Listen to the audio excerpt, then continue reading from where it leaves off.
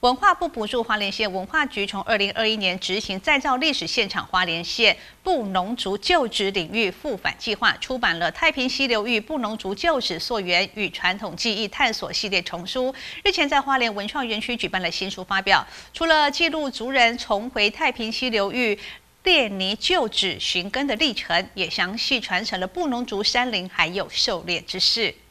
花莲文化局受文化部补助，从二零二一年起办理再造历史现场花莲县布农族旧社领域复返计划，两年时间累积丰富成绩，其中包含出版太平溪流域布农族旧社溯源与传统技艺探索系列丛书。二十三日在花莲文化创意产业园区举办新书发表，邀请作者与族人畅谈复返的甘苦过去。它本来就是在森林中消失的一个部落。我们特别去把列尼找出来，那是我们第一次有心去把它找出来。随后的这几年，你看到地图上所有的标点，那是我们一个一个的走出来，去把它从那个什么草丛中啊，一个一个把它挖掘，把那个失落的文化跟历史，把它一个一个建立起来。也感谢到几个微字啊，去从历史的文件资料里面来做记录。我们得以将历史的从前跟现在的部落的聚落的欠缺的地点，来交接给我们的下一代。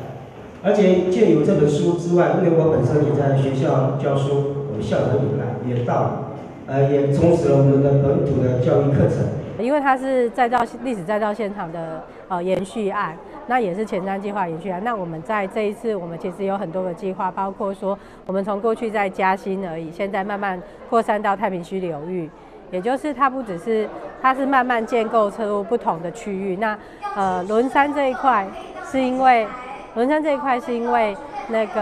呃阿杜老师一直都在做带年轻人上山这件事。那我们也觉得他在上山这件事应该要被记录下来，而且他是由纸本去把它记录下来，跟让这个做两本书，一本是过程，但另外一本真正就是。所谓的猎人知识，那这一块其实能够进到学校里面，让学生其实在学校就可以先理解。那真的未来跟着上山的时候，他可以知道山里面的故事跟我书里面的东西怎么样去对照。那所以我们其实很感谢老师这边，就是阿杜主任这边愿意，就是把这件事情这样记录下来。此次新书是布农族旧社领域复返计划成果之一，丛书一套两本。带你回列尼太平溪旧社生活踏寻，描述族人多年往返列宁寻根的历程。有作者之一阿杜尔多年访谈长辈，取得口述的珍贵资料。马拉斯达邦布农少年狩猎笔记，这是一本虚实交织的绘本故事书，以太平溪流域的山林为舞台，透过布农少年的视角，讲述关于狩猎与山林的知识和经验，期盼让更多年轻族人与国人读者认识太平溪流域的人事史，与近百年前的主居地建立深一层的连结。记者蒋邦彦、黄连诗报道。